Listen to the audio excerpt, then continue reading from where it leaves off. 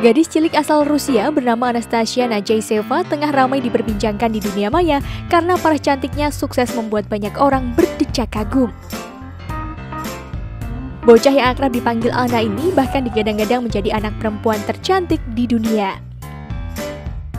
Ia memiliki mata berwarna biru cerah dengan rambut panjang berwarna coklat.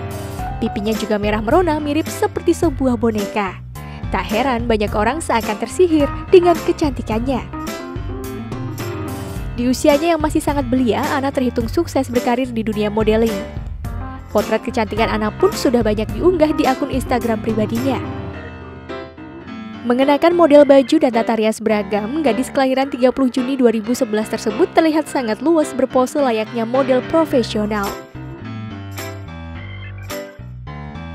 Sejak balita, Ana memang sudah menjadi model cilik yang tergabung dalam Presiden Kids Management